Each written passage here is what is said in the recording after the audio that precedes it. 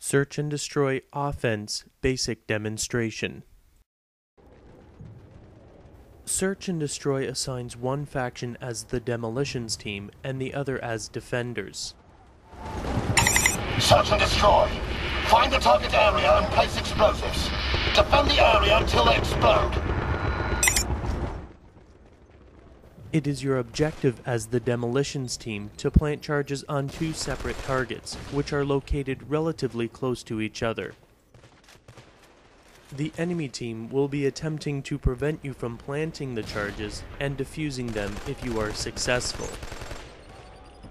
It is important that you approach the target sites as quickly as possible since the enemy team will be building defenses against your impending arrival.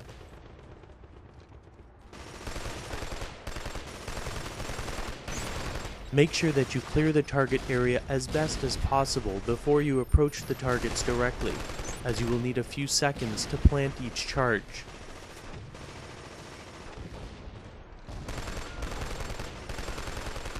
To set a charge, simply approach one of the targets, and when prompted, press and hold the circle button. Make sure that you wait for the activation meter to reach full before you release the circle button.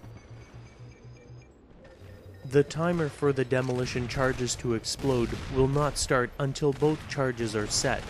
Once this is done, you must defend the set charges for a specified amount of time.